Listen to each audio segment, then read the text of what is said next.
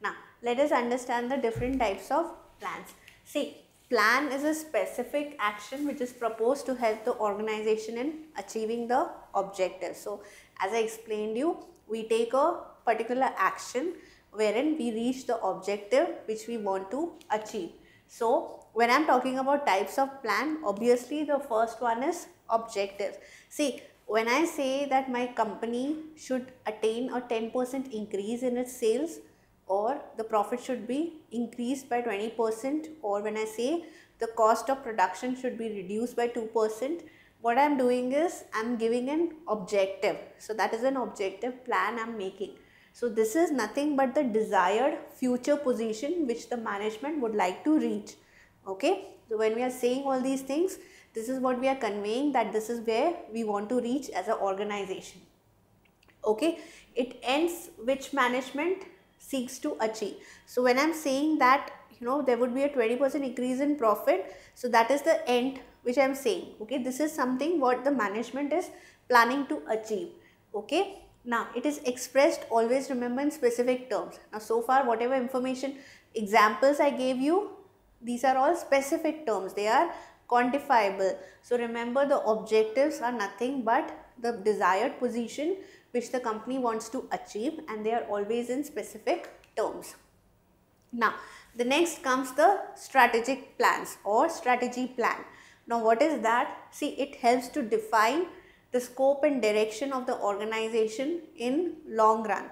So, when I am saying that my objective plan is to increase the sales by let us say 10 percent, I would make a strategy plan to ensure that I would achieve that objective.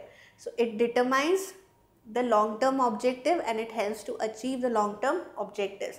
Now, what here in strategic plan we do, we decide on a particular course of action which needs to be taken so that the objective which has been set can be achieved what what other thing we do in a strategy plan is that we allocate resources which are necessary to achieve the objective.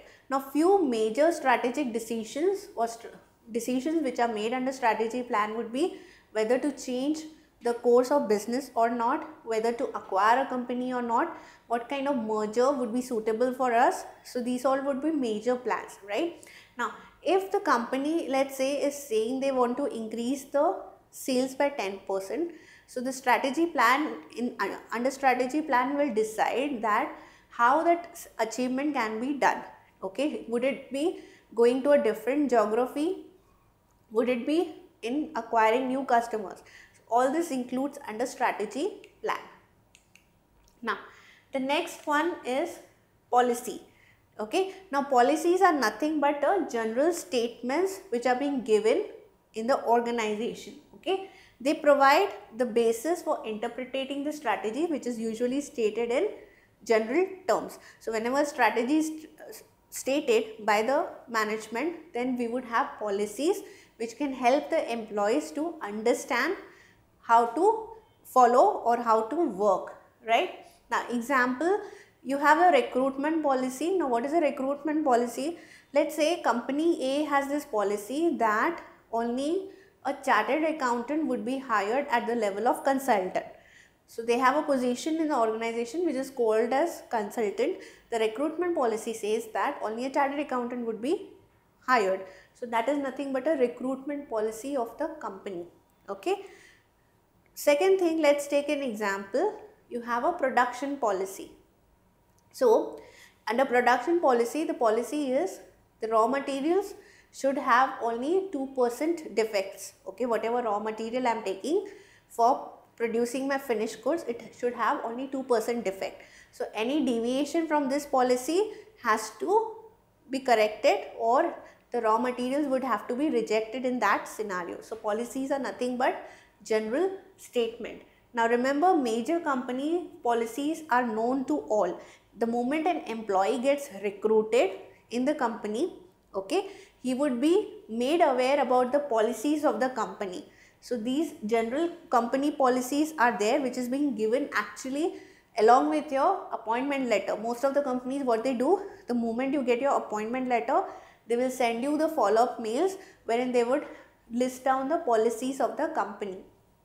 okay so whatever policy need to be followed in terms of customer client competitors the whatever is the company policy that is being made available to employees so that they are aware about the policies as such. Now minor policies are those policies which are available to insiders. They contain minute details of information which is vital for organized employee of an organization okay? Now see when I say if the order is above 40,000 okay? Let's take a hypothetical example. If the order is worth above 40,000 then the manager needs to get involved okay? So that is the policy of the company. Now this is a major policy because it is dealing with the client okay? Now if i am saying the policy is that you should all come in formals even if it is a Friday, even if it is a Saturday, you're working on that, you need to be in formals. So that is a policy which is an insight It is a minor policy and it is available only to insiders. Okay, it concerns with the employees of the organization. So this is what policies is all about. Now, the next comes your procedures. Now, what are procedures? See, these are routine steps which are on how to carry out activities. So this is what is being given to us in terms of how the activities should be performed. What is the procedure to perform a particular activity. For example, if I am saying that to obtain the permission to buy let's say an equipment which is more than 1 lakh rupee, I need to follow a certain procedure. That is I need to obtain approval from my own manager, reporting manager and then I need to also obtain the approval of let's say the CFO okay? Because the company is very small so we have kept this as hypothetical uh, example so this is a procedure which has uh, which is being told to me to be followed as an employee so this is nothing but specified steps which are to be followed in a particular circumstances. Now remember these are only followed by insiders that is the employees of the company. Okay. Now let's move to the next one. See the next is method. Now what is method? These are prescribed ways or manner in which a task has to be performed. Okay. Considering the objective. So once the objectives are set, now method would be the ways or manner which needs to be performed to achieve that particular objective. Now remember methods are nothing but formalized and standardized ways to accomplish repetitive routine jobs. So let's say if you have to run the machine every day, right? So there would be a SOP which would be lying for you wherein you can understand okay this is the way or this is the method to you use that machine and this is how things have to be done when it comes to that machine okay. For example, methods of training. Now, when a company, especially let's say when you join a bank, there are lot many compliances which needs to be understood, okay. So, the method of training would be the moment the employee enters into an organization, he gets recruited in the bank, then he needs to complete all the training in a set time and then he needs to give an exam. So, then the method of training has been decided okay this is the way the employee would be trained about the compliances and the rules. Now the next come rules. What is rules? See these are specific statements that are informed to the employees that what needs to be done, what cannot be accepted. Now this is considered to be the simplest type of plan because it doesn't have to compromise on anything or it doesn't have to change unless a policy decision is taken okay. Now as I gave you an example that if the customer is worth 40,000, if the order is more than 40,000, the policy is to take a approval from the manager, okay. Now if the rule is that only the manager will deal with such kind of customers then remember nobody can deviate from that. The moment the customer says my order is more than 40,000 immediately he would be passed on to the manager so that the sales can take place. So that is the rule. Okay. So rules cannot be bended and in case if you are unable to follow the rules or if you fail to follow the rules if you are an employee then you would be subject to punitive actions. Okay. Now let's move further and see the next plan which is nothing but program. Now what is program? Remember these are detailed statements about a project. What do they do? They outline the objectives which we already discussed, the policies, the procedures, the rules which needs to be followed, the tasks which require are which are required to be done, the resources both human and the physical resources that is material and non-material resources which would be required and the budget which is required to implement any course of action. So, this is what program is all about. Okay. Now, remember there is always a concrete plan. So, this is considered to be a concrete plan as to who, when and how the work will be done to achieve a certain objective. The next comes budget. Okay. Now, budget is nothing but a statement wherein we prepare what are the expected results. Okay? What are the results we are expecting?